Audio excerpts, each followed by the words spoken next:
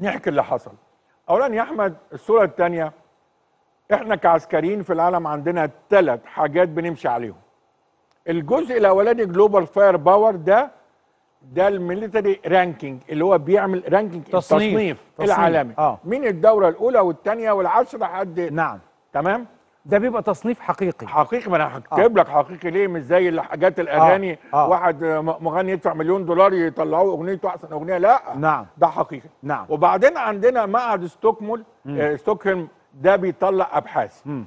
وبعدين عندنا الحاجة الثالثه ال Military Balance مم. أو التوازن العسكري ده أهو. ده الدستور بتاعنا يا أحمد. آه. أي معهد مركز دراسات اسرائيليه ما عندوش ده مم. اولا ده ما بينزلش على الإنترنت. آه. لازم تشتريه. نعم. بيطلع من ال IISS معهد الدراسات الاستراتيجية في لندن. مم. ممنوع إنه ينزل على النت. مم. وثمنه غالي. يعني ده امبارح السنة دي 23 أنا جبت 24 25 هجيبه لأن بيبقى ال- الفروقات بسيطة. آه. بيمسك كل دولة يا أحمد بيفصصها عسكريا. قوتها العامله والاحتياطي وال... وبعدين الد... مثلا الطيارات كام طيارة F 16 و F 15 بالملي. كل حاجة بتتحط في هذه الدولة. عشان كده إحنا لما بنعمل ranking لازم أبص هنا. لازم أبص هنا وعلى Global Fire ال Global. Global نعم. Fire نبص بقى على ال- على الصورة الثانية Global Fire السنة دي راح 24 اهي 24. وده, وده موجود على النت. مفيش نعم. حاجة جديدة. آه. هو رتب 145 دولة. وحط 60 عامل للتقييم يعني مش بالفكاكه كده. مم. 60 عامل. الصورة اللي بعديها راح مطلع مصر أهي الصفحة أيوة. بتاعت مصر كل ده على الإنترنت. نعم. مصر بقت أربعة رقم 14 على العالم نعم. من 145 40. دولة. نعم. خلاص؟ نعم. وده آخر تعديل 1 9 واحد تسعة. 2024 آه واحد تسعة. وده موجود على الإنترنت.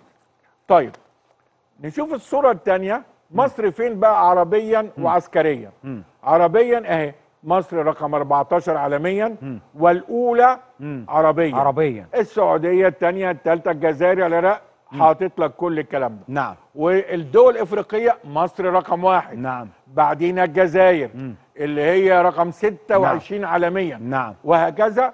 فأنت النهارده كل واحد فينا يبقى قاعد مطمن إن الجيش بتاعه هو أقوى جيش عربي وأقوى جيش أفريقي وأ... وتاني جيش في المنطقة. عظيم. تمام؟ نعم. طيب. الكلام ده بيت... بيت... بيتحسب إزاي؟ آه. يعني هل كده؟ لا لا. هنيجي نمسك أول حاجة.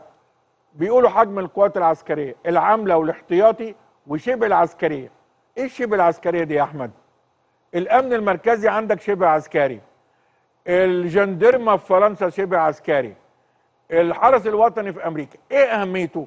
عشان لما يبقى في حرب ما اخدش من القوات العسكرية أحمي بقى المحطات الكهرباء الجبهة وال- الداخلية. الجبهة الداخلية آه. فعشان كده الجيش الجيش يتفرغ يتفرغ للقتال وهنا بيأمن وهنا ال- الشبه عسكرية تأمن يأمن فبال- داخليا. فاللي عنده بيبقى قوته أكتر نعم خلاص وبعدين أعداد المعدات وحجم الإنفاق كل ده يا أحمد عظيم. بيتحسب